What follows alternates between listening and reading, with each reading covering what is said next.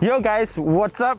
It's been a long time since I've done this, or at least it feels like it, but today we're gonna take a look at the new A-Class sedan, the CKD version or the locally assembled version to see if it's any good. Now, as you know, prices start from 211,000 ringgit for this A200 progressive line and goes up to 240,000 ringgit for this A250 AMG line. That makes it about 10 to 18,000 ringgit cheaper than their respective CBU counterparts. And if you haven't yet seen our walk around video, I'll put a link somewhere up here so you can just click on it and it's gonna take you right there to our six minute walk around. But in this video, I'll tell you what I like and don't quite like about the A-Class sedan. So let's get right in. This review is brought to you by Petronas Premax 97 with ProRace, power to move beyond.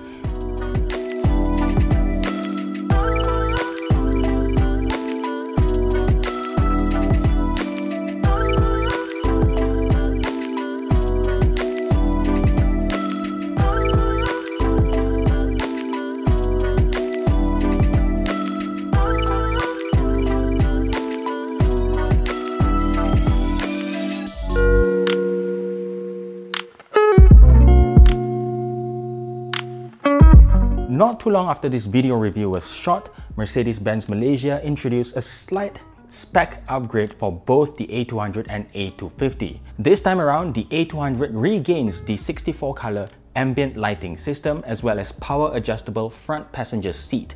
The A200 also adds on blind spot monitoring system, whereas the A250 adds on wireless charging, hands-free boot access, active lane keep assist, and automatic high beam. All this means the A200 now goes for 220,000 ringgit, while the A250 is going for just under 244,000 ringgit. That is about a 10k jump for the A200 or a 4,000 ringgit increase over the original A250 sedan. First of all, I think the design of the A-Class sedan is quite stylish. I find the front and rear treatment quite palatable, although if you see the back from certain angles, you can still tell that it is fundamentally an elongated hatch.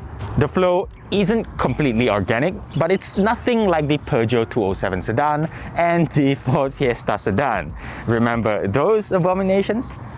On a styling front, I'm pretty sure you can tell that the A-Class sedan takes on a slightly safer design approach, at least compared to the uh, BMW 2 Series Grand Coupe lah. And between the two cars you have here, the A250 sedan is clearly the sportier looking bunch, what with the chrome pins on the grille and the full AMG line front bumper. But you know what? They both sit on 18 inch wheels and the design, uh, the twin 5 spoke thing, they can look pretty similar, but this one is AMG specific lah, of course. Standard features here include keyless entry, folding side mirrors, as well as full LED headlights and tail lights. But compared to their CBU counterparts, there is no longer run flat tires. They now ship with Continental Eco Contact 6 tires and the A250 no longer comes with cross-drilled front rotors. That's okay I guess, something's got to give. I like that folding side mirrors is standard, but what I like slightly more is the fact that keyless entry is available on all four doors, including the A200 sedan. So that is a really nice bonus. But what I don't quite like is the catchment system on this A sedan. Uh, I don't know if it's a CKD thing, but it doesn't catch on or doesn't shut properly. Uh, with the C-Class, it closes very nicely, but here, it needs a bit more force just don't understand what the thing is with uh, new cars and catchment systems but I, I, I thought it was just a Honda issue but turns out I'm wrong.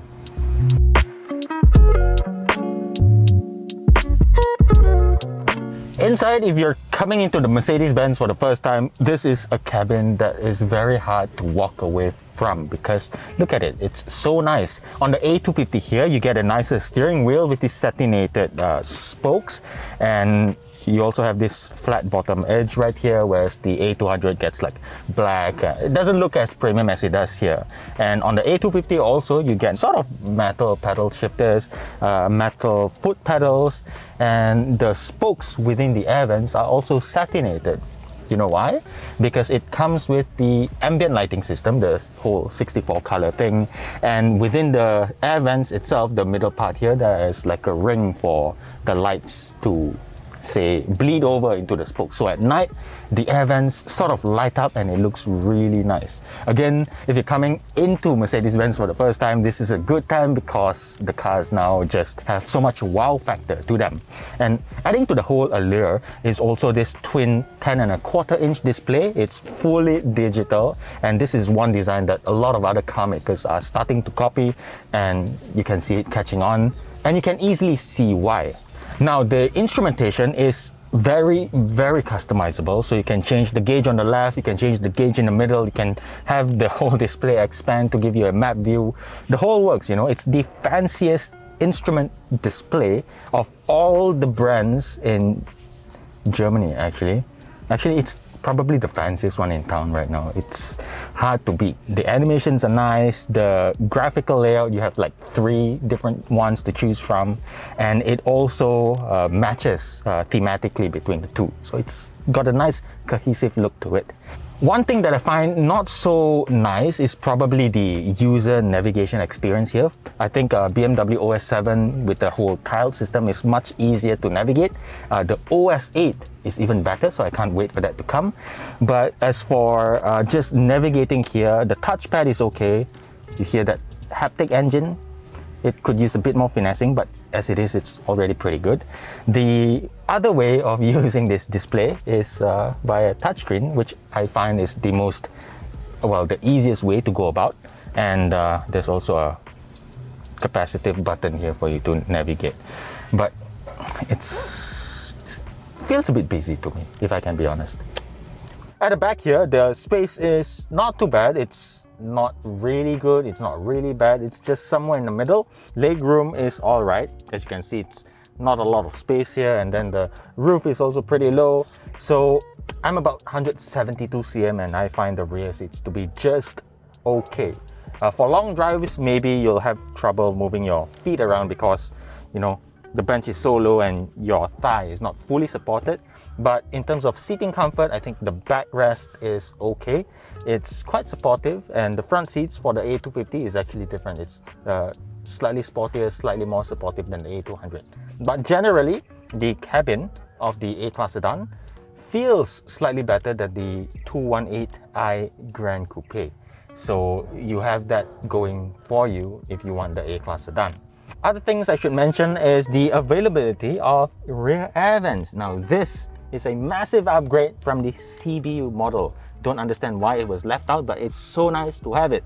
But the air vent design here, it's all black, unlike the nicer satin ones that you have up front. But that's okay, you know. You've also got one USB Type-C port down here, another one in the center armrest, and one more up front. So a total of three, but the one up front is for your Apple CarPlay and Android Auto system. So it's not a fully wireless experience, but the upside is there's no latency. So this is good. I like it. Other things I feel like I should add uh, before we go on a drive is the six speaker system. They are more, you know, front focused. So they could be better, but that's all right. They sound decent anyway. And there's this little hole here or this uh, channel for you to put your seatbelt buckle in so it doesn't rattle. So that's a handy dandy feature. As for boot space, this guy has 420 liters of space. Nice. the rear bench also folds completely flat so you can store longer or bigger or wider or whatever items, you know. And uh, there is no spare tire, so you have a fix-a-flat kit, but then these are not run flats, so I guess that becomes a nice to have, I suppose. Um, anyway, let's go for a drive.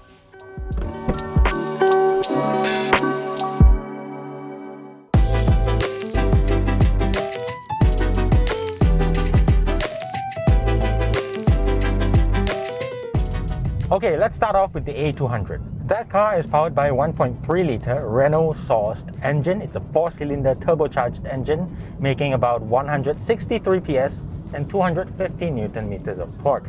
Honestly, I feel like the car is adequately powerful. It is surprising in some sense because it's quite athletic to a degree and I took it up Genting, you know, there's no problem at all. And the numbers might seem small, but the way it's tuned, the way the 7-speed dual clutch uh, Getrag transmission uh, manages to squeeze power out from the engine is actually quite commendable. it doesn't in any way feel underpowered. And I think um, if you fit like four adults in the car and then you go up Genting, it's still not gonna struggle. Gear shifts are smooth, power delivery is quite even, although it does miss out on the top end as you know characteristics of a small displacement engine. But low down, it has a lot of shove and it's perfect for everyday kind of urban use. There's no faulting it, even though you know, on paper it's a small engine. Now, despite this being a smaller displacement engine, being what 1.33 liters, it's still more powerful than BMW's B38 offering in the 218 Grand Coupe. Over there, it makes just about 140 PS and 220 newton meters of torque. So you're looking at a deficit of what 20 over horsepower as well as 30 newton meters of torque. In real world driving, sometimes you do feel it, but I think the power delivery in the Beamer is a little bit more uh, linear. There's a bit more top end shove. And over here in the A200, I feel like it's deliberately tuned to give you more power down low, which I think is good, you know, for those of you who drive this on a daily basis. As for the A250, which I'm driving here, this car feels so much more powerful. Number one, it uses Mercedes-Benz's in-house M260 engine. So that's a 2-liter 4-cylinder engine making about 224 PS as well as 350 newton meters of torque. That is, on paper, about 80 horsepower and 100 newton meters more than the smaller A200. And it feels so much more powerful. Number one, it sounds better. There's a more bassy note, a bit more German sounding than French sounding, if I can say so but uh, it's lacking a bit in the exhaust department. That, but that's whatever, you know. The performance in this engine is really good. It really does feel like a six-second car. And in sport mode, if I were to put it in sport mode, it just goes. And before you know it, I'm already doing 120 in fifth gear. Uh, the thing is about this car, I feel like uh, it doesn't put power down to the road very efficiently because when I'm driving, sometimes when you're powering out of a corner, the wheel does spin a little. Um, that's partly because it's running on eco tires. So if I were to buy this car, the tires will be the first thing I am changing. It should at least run on touring tires and UHP if you're generous. But eco tires uh, really doesn't do this car justice. Another reason why I think uh, power isn't put down efficiently is because it doesn't have 4MATIC. So both variants are now front wheel driven and both use DCT. But the difference here is uh, it uses Mercedes-Benz's own 7-speed DCT. I think it has come a long way, the driveline, in terms of smoothness, in terms of refinement. Even coming from just the A-Class from the previous generation, I think this is a much better driveline system, more well put together. It's just a much more pleasant mechanical experience altogether. I still think the shift profile can use a little bit more refinement because as it is, uh, it's smooth when you're up to speed, but when you're cruising in town uh, at lower gears, at lower speeds, sometimes the transmission tends to jerk a bit. Uh, BMW does it better in this sense, but you know they're they're close already. For the fuel efficiency test, the A200 managed about 6.5 liters per 100 kilometers, whereas the A250 managed about 8 liters per 100 kilometers. The test was carried out with Petronas Premax 97 with ProRace. The fuel gives you unbeatable power as well as better responsiveness and fuel efficiency. Now with Setel, you can enjoy the ultimate convenience and safety. Pay for petrol from inside your own car. Just pay, pump, and go. You can use it at all Petronas stations nationwide. And while you're at the station, enjoy Makan at Mesra. Fresh and well-balanced premium food at affordable prices available at your convenience. Petronas, your seamless retail on the go partner. As for driver engagement, um, this is like a lot of other Mercedes-Benzes. The steering is quite numb, it's lacking in feedback. So if you're coming from, say, even a Volkswagen Golf GTI, it's not gonna give you the best uh, feedback. But for those of you who spend most of your time driving in and around town, I don't even think you'll consider this a drawback. One big difference between the A200 and the A250 is the rear suspension setup. On the A200, it uses a torsion beam setup, but here on the A250, it uses a multi-link system. The difference if I can even remotely tell, is secondary ride for the A250 is better because of the multiple linkages and the additional bushings. Uh, that's the benefit of a multi-link suspension. But if you were to drive it side by side, you'll be hard pressed to tell, man. If you're driving up Genting, I think besides the less uh, sophisticated feeling torsion beam setup, you, you really can't tell the difference. I mean, most people won't be able to tell unless you're driving in places such as Port Klang, where roads are constantly undulating. Uh, that's when you feel slightly better ride quality. But you know, a lot of cars, a lot of really good hot hatches use torsion beam system. And the one upside, I guess, to the A200 is it's 80 kilograms lighter than the A250. So on certain roads or more technical narrow roads, it's going to feel like the more agile car to drive. Okay, so the last few things would be, I guess, NVH levels. Generally, it's okay, but I feel like the A250 in terms of uh, vibration, especially, you can feel the engine a little bit more, like through the pedals and whatnot. And I think this is largely because of the uprated mounting system. So you do get some of the engine that's transmitted over the pedals. But I guess besides that, that's about it. Uh, tire raw is pretty noticeable but maybe it will be better with a better set of tires, who knows? Wind noise and all that, they're okay. It's as good as cars in this price bracket gets. And then we have the safety system. Now, as Mercedes-Benz's entry-level car, it only has AEB and 7 airbags as standard, and the A250 adds on blind spot monitoring as well as the whole audible warning thing. But you don't get adaptive cruise control, there's no lane keeping or lane centering assist, and there is no adaptive cruise control. But the fact that there is AEB and it has saved me at least on one occasion is a commendable thing because for 211,000 ringgit, Mercedes-Benz uh, and it being standard, I think it's a good effort for Mercedes-Benz and it's only going to get better from here on out, right? So yeah.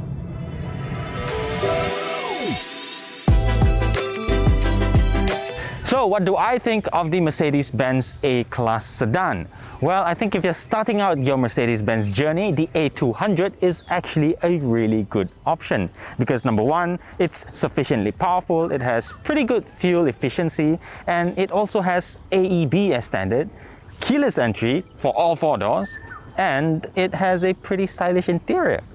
It also makes for a pretty good second or third car option because it's small enough for you to do your everyday routine or drive along narrow roads or tight parking spaces in the city. So it's almost brainless if you need a small luxury compact car.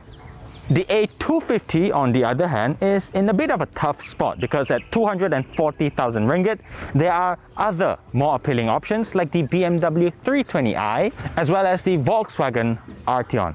But I guess at the end of the day, if you really like the car and if you see a proper use case for it, if you can justify having a small Mercedes-Benz like this at home, then by all means just buy it because I don't see anything wrong with it. In fact, I think this is a huge upgrade compared to the generation before, which was only available as a hatchback, mind you. So this, to some people, has been the compact Mercedes-Benz that they have been waiting for a long time. But if you're coming from a, say, Volkswagen Golf GTI, then I'm sure your upgrade path will look a little bit more different.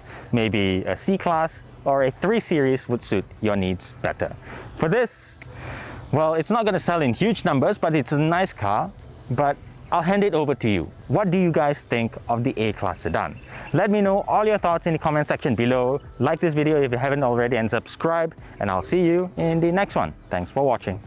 Bye bye. This review is brought to you by Petronas Premax 97 with ProRace. Power to move beyond.